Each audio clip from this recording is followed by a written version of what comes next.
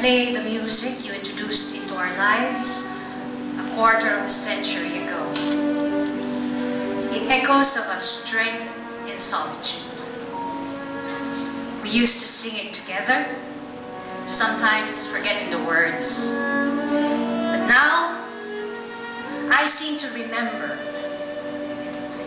It goes. The days are okay. I watch the TV in the afternoon. When I am lonely, the sound of other voices on the rooms near to me, I'm not afraid. The operator, she says the time, it's good for a laugh. There's always radio, and for a time I can talk to God, dial a prayer, are you there? And in the winter, extra blankets for the cold keep the heater getting old. I am wiser now, you know, but just as good a fool concerning you. And somehow, in this mad snow that returns after the spring, confused by the turns man has caused nature, rather like miscues on that stage, I sing this song, and I'm still in awe of how 25 years have gone. Those who gathered round the communing kitchen table, and other tables thereafter, will look for the music sheets in our minds, because the lines with notes of them have merged with the rolling pasta and the waft of smoke and love suspended midair, waiting to be caught, tumbling on our necks, torn like improvised stockings of solemn whores. We, who declared that after theater, everything else was boring, and drank to that, cooked to that, laughed at ourselves for that.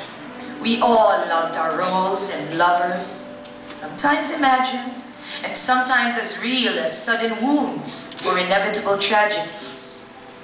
Nevertheless, we sang our loves and danced, ate, drank, devoured the roles we played and relived them through the evenings in tight, humid corridors or apartments, cafes or spaces under the acacia trees, or steps still warm with the sun.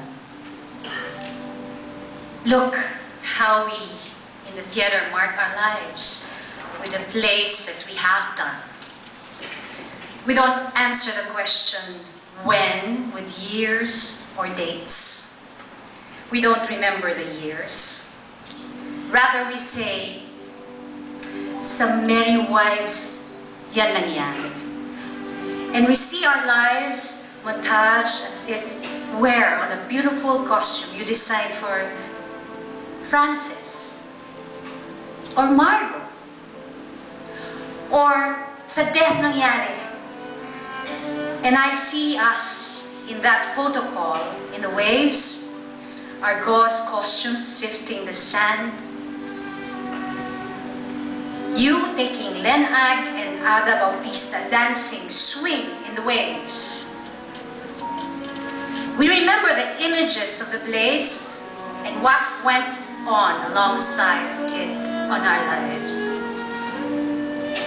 We know the details of the offstage that embellished or hued the frame of stage and vice versa. We first remember the drama that went on. The comedian, forgetter of lines, became a counselor. The actress who slept in churches to approach her vagabond role became a mothering sea monster on TV. The actress who ate a chair, ika nga, for not knowing her lines, became a truly committed actress of the stage. The beauty queen whose tabak fell in a Katipunan play remained an aging beauty queen. Or the actors who stripped have had to come to terms with their machismo. Or what play was that when when two men began an affair, are now married and have kids.